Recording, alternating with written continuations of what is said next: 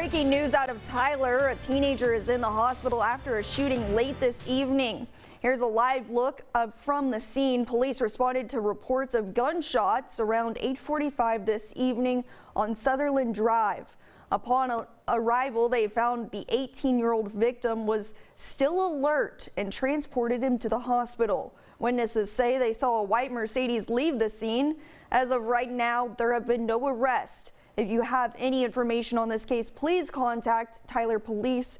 But for the latest information, you can head over to our website. That's ketk.com.